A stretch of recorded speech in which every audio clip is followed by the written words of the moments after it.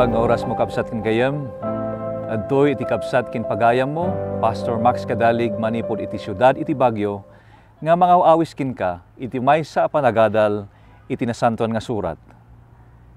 Ada iti pagsasaw iti Ingles nga kunana a mountaintop experience. Daytoy nga pagsasaw uno termino ket iladawan na nga adda iti may sa anay sangsangayan nga pasamak iti biag ti tao nga nangiturong kinkuana tapno maadaan iti nabalbaliwan wano naragragsak a panagbiag. Iti nasantuan nga surat, adu dagiti tattao nga literal nga nakapadas iti panakabalbaliw iti biagda iti rabaw iti bantay.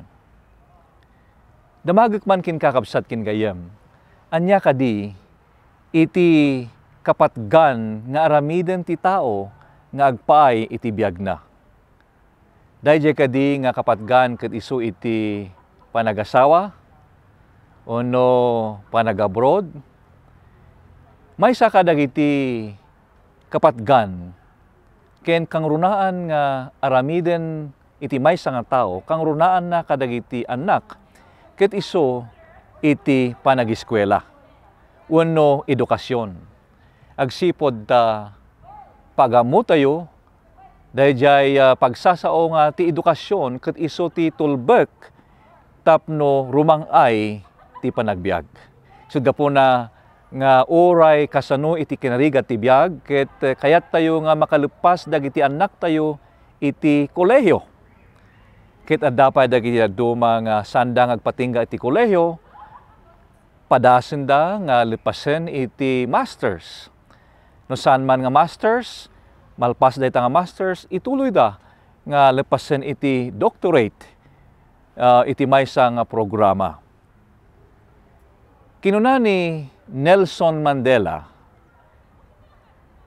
nga iti edukasyon ket iso iti maysa akapatgan awagas tapno maaramat nga pangbalbaliw iti biag iti maysa nga tao uno iti pakasaritaan iti may sa anasyon uno pagilyan. Gapuna, nga datayo nga tattao, kang runaan na kadatayo nga naganak, kit eh, agbirok tayo kadagiti kasayaatan nga pagadalan. Agbirok tayo kadagiti pagadalan nga dagiti manorsuro ket eh, naalibtak ken eh, nalalaing.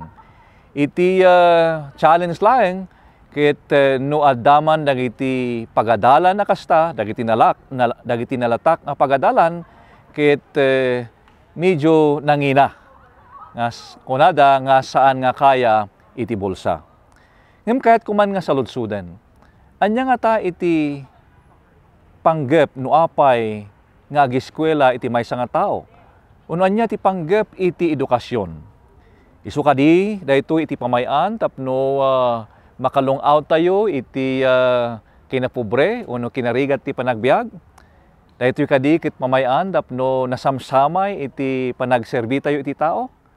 Mabalin dagitoy nga rason no apay nga adda iti panagiskwela wenno adda iti edukasyon. Ket kuman nga kitain ta iti dayto nga gundaway, iti kapadasan ni Apo Isus, kadwa na dagiti umariwek-wek nga tattao. Iti maysa nga bantay, kaday to ikit may panggap iti uh, edukasyon o no uh, panagisuro. Nanya ti uh, kayat ti Diyos. Nanya ti panggap ti Diyos. No apay nga da iti panagkasaba, no apay nga da iti panagisuro, kadagiti tattao. Dahito iket eh, masarakan iti nasanto nga surat iti uh, libro uh, ni San Mateo kapitulo 5 aging gana iti 7. Dahito nga uh, paset iti nasanto nga surat kapsat kin gayem ket mauawagan nga iso ti kaskasaba ijay bantay. Saan tayo nga mono denno ti ayan na dahito nga bantay. Ngam dahito iket ijay Galilea Ni Apo Isus ket din makkel ijay Galilea. Ket amuna dagiti lugar nga pakaornungan dagiti adu nga tattao. Ada iti maysa nga lugar iti Galilea nga inbagada nga iso iti lugar nga nagkasabaan ni Apo tayo nga Isus. Ngem uh, dagiti daduma nga adal ti Biblia ket uh, kunada nga saan nga isu iti lugar. Ngem kadagiti nga tiyempo nga awan iti mikropono. Ket uh, amo ni Apo Isus no dinno ti ayan ti lugar nga uray adu ti tao ket uh, adda iti uh, kunkunada nga natural acoustics. Kasla nga uh, adda iti natural nga mikropono tapno mangeg dagiti umariwek nga tattao iti maibaga. Ken eh, kastamet nga kuna dagiti uh, mamasirib nga tattao nga napan ijay ken nang kita uh, iti lugar nga napnapanan ni Apo Isus ket uh, dagiti lugar nga naururnungan ni Apo Isus ket dagiti lugar nga iti um, angin manipod ijay uh, uh, Sea of Galilee uno banta uno baybay iti Galilea ket makatulong tapno mangeg dagiti adu nga tattao iti maibagbaga. Kapsat kin gayem. Anya kadi iti insuro ni Apo Isus ijay bantay idi a nangasaba. No inta kitaen kin basaen iti nasanto nga surat iti uh, kang runaan nga in pangpangruna ni Apo Isus iti uh, kaskasabana ket duwa nga banag. Anya dagitoy duwa nga banag. Umuna, ket dayjay pagarian ti Dios. Uno pagarian ti langit. Ken iti maikadwa ti ugali ken kababalin dagiti sumurot kini Apo Dios. Isud ka po na ano, kitaem, dayjay inyo na nga inbaga ni Apo Isus. Nga paset iti dayjay kun kunada nga beatitudes iti Matthew chapter 5 verse 3. Kuna ni Apo Isus nga nagasat dagiti na panglaw iti pakinakemda takukwada ti pagarian ti langit. Dito'y kapsat kin gayem ket uh, ibagbaga na may panggap iti ugali. Ket no um, ituloy ta nga basaen kapsat ket may panggap itlaeng kadagiti ug ugali. Ket no ituloy ta nga basaen daytoy nga kaskasaba ni Apo Jesus iti um, Matthew chapter 7. Ket uh, iti kaudyan nga istoryana ket may panggap iti istorya iti maag nga lalaki ken masirib nga lalaki. Ket uh, inipas na nga na nga dagiti masirib nga tao ket isuda dagiti mga ramid wenno agdengeg iti ibaga ni Apo Dios ket aramiden da dagitoy. Daytoy kabsat kin gayem ket may panggap iti ugali.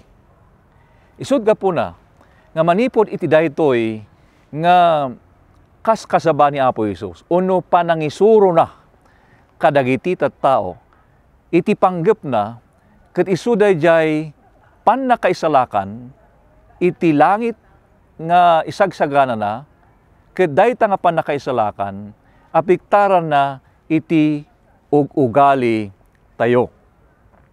Suga po na nga iti Matthew chapter 7 iti uh, maudi nga paset iti daytoy nga kapitulo ket uh, salita na iti bersikulo 28 ken 29 kaso iti bagana. Ket idi ni Jesus nalpasnan, dagitoy asao, dagiti adu a tao nagsiddaaw da iti isursuro na. Tayin sursuro na ida akasla adda pan nakabalin na. Ket saan akas kadagiti iskriba. Dito'y kabsat kin gayem makitam nga pinagdilig dagiti tao no kasano iti panagisuro ni Apo Isus kumpara kadagiti panagisuro dagiti iskriba. ni Apo Isus kuna na adaan iti pan nakabalin. Authority iti Ingles. Apay nga daan iti pan nakabalin kin authority. Agsipod ta dagitoy nga sasaw nga inbagana ket saan nga nagapu iti sa bali nga tao no di ket nagapu mismo kinkuana saan laeng ang nagapu kinkuana no di ket makita iti sinseridad ni Apo Isus ken eh, kastamet nga dagitoy nga inbagana ket nakita iti aramid na. Kapsat kin gayem, kadagitoy nga tiyempo, iti pagarian ti Diyos ket may kaskasaba. Kayat tayo nga sumrek iti pagarian ti Diyos. Ngem kayat ti Diyos nga maadaan tayo iti kababalin ti Diyos. Dagiti kababalin, dagiti agturay, wenno dagiti kababalin, dagiti mamati kinkwana ket naisal sa lumina, agsipod ta dagitoy nga ugali, ket mayan natop iti dayjay ugali ti sursuruten da nga apo kinari awan sa bali no saan nga ni Apo Jesus. Kapsat kin gayem, patsek iti amin nga puso, nga kayat mo nga sumrek iti pagarian ti Dios. Nga may sa nga ibana, nga may sa gabanag nga ibagbagana king kakin kanya. Ket isu jay pan nakabalbaliw. Pan nakabalbaliw iti panunot ken iti biag. Ni Apo Isus ket umay iti maikadwa. Amom kadi nga intun umay ket saan nga umay tapno balbaliwan na ti ugali iti may nga tao. Umay ni Apo Isus iti maikadwa. Tapno isalakan na iti pagarian na dagiti nabalbaliwan ti ugali da kadagitoy nga tiyempo. Yan palubos da nga ni Apo Isus ket iso iti agturay iti panagbiagda. Iti daytoy nga gundaway. Mabalin kabsat kin gayem nga adu dagiti nanggagam. Mabalin nga makigimgimong ka iti maysa nga kapilya nga naimbag nga banag. Nga maginggana nga mabalbaliwan ti biag tayo. Saan tayo nga mabalin nga sumrek iti pagarian ti Dios. Isu daytoy iti panggep iti edukasyon. Sud po na nga dagiti pagadalan kuma ket daytoy iti aramiden da. Isagana da dagiti tao nga agpaay iti panakaisalakan ken kastamet panakabalbaliw iti biag dagiti tao nga agpaay iti dayta nga langit uno pagarian ti Dios nga isagsagana na kadagiti agayat kinkuana. Patsek iti amin nga puso. Kapsat kin gayem nga adda iti kasta at tartarigagay mo saan laing nga agpaay king ka. Agpaay iti ayatem iti biyag. No adda iti anak mo, patsek nga dayta ti tarigagay mong agpaay kadakwada. Ket ni Apo Dios, kayat na nga sungbatan dayta nga tartarigagay mo. Babayan itinasantuan nga surat, uh, isuro na, nuan niya dagiti kasapulan nga ramidin tayo. Daytoy iti uh, inpaay na nga mangidalan kada tayo, tapno agbyag tayo nga nakasagana nga agpaay iti pagarian ni Apo nga Jesus. Pacheck nga Daytoy iti tarigagay mo ita. Ket uh, sapay ko ma, taniapo Diyos, ket tulungan na ka.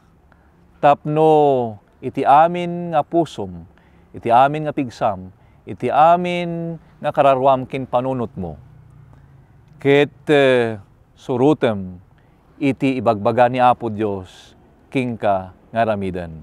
Awisin ka nga rod, iti daytoy nga gundaway kabsat kin gayem, nga sumaklang kini Apo Dios.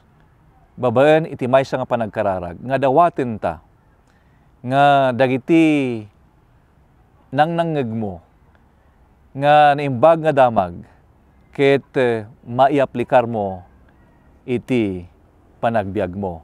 Ngay sumit lang iti tarigagay ko nga agpaay iti biag ko.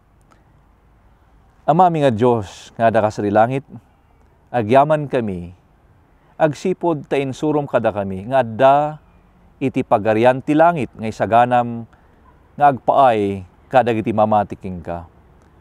Ket kayat mo, nga tunggal maysa nga mamatikin ka, ket maadaan damat iti kababalin o ug ugali, nga maiyan natop iti pagariam. Adto iti kapsat, nga kayat na nga isuko ti biyag na kingka, kinipabaro iti panagservi na kingka. Tapno ti kasta, dagiti nimbag nga damag, ngayon na nangagan, ket san laeng agpatingga iti uh, panagdinggen, no diket isupay iti mangbalbaliw iti biyag na.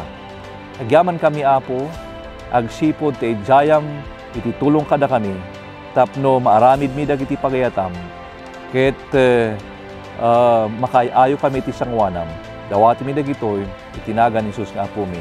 Amen.